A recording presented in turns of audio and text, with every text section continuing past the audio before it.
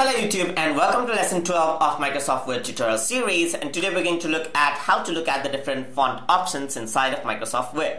So for the font option I'm going to type uh, a Tesla sentence for example this is a, is a sentence and by default what you see is that now I can select the font and you can see that by default Calibri body is being used as the font family and the font size is 11.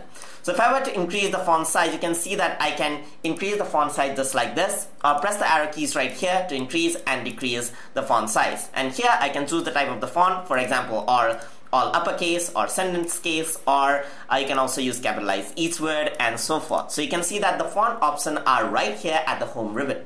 So over here what you can also do is you can bold this so you have a font family of bold and italics and underline as well and you can also subscript and superscript this so for example if you want to subscript this you can actually do this from here and you can also choose different font styles as you can see so you can select this out and you can see that you can select different font styles right on the go like that so I'm just gonna press ctrl Z right there and I'm gonna undo this to back to default and you can also select this and maybe highlight the font from over here or you can color the font right there and you can see that these are quite the basic options for the font right here so if you want more option that is more if you want to strike to, through or anything, then you can actually access more options right here from this menu right here. So you can also press Ctrl plus D as you can see. So this gives a font dialog box. So over here, what you can do is in the font, uh, you can select the font oh yeah so by for selecting the font you can also select the font right here for for tutor font we actually use Myriad Pro so you can actually scroll down and select a font of your choice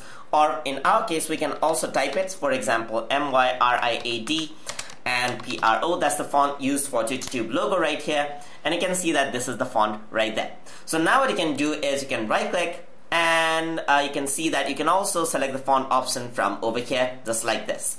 And if you want more options for the font just go over here onto this icon right here. And in the font section you can actually select the font right here and then press OK and that will also change the font as you can see right there. So I'm gonna click here again and now I can italics this. You can see that. You can see the preview here. You can uh, increase the font size and you can choose the font color and maybe underline and so forth.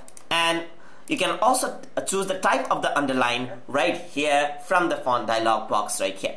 And you can also choose the underline color as you can see. You can do all small caps. You can see that small caps is type of uh, uh, setting that you can use. You can use all caps right here. You can use hidden caps. You can use strike through as you can see, double strike through as well, superscript and subscript as you can see.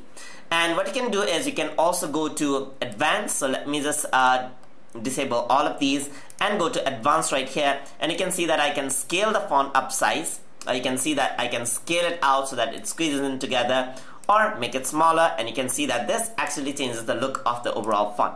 You can also change the spacing into expanded. You can see that there's more space or you can use condensed for less space. So let me use an expanded space right here and in the position you can have a raised font or a lowered font or a normal font. You can also increase the space of the font by points. You can see that um, you can do this and you can also, let's say, have a raised font above just like this. You can also use the kerning of the font so you can see that this will actually change the font above and you can use con uh, contextual uh, alternatives like that and so forth. You can also use number spacing, number forms, and stylistic sets and so forth. You can see that this actually changes the styles uh, just like that. You can also go to text effect right here and that will actually bring out other options right here like text fill. So you can have a no fill in the color or a gradient fill if you want. So you can have gradients on your font as well. For example you want to choose this gradient you can actually just select this. And you can increase the transparency as well. We'll get on to this settings uh, later on when we cover up the graphics part.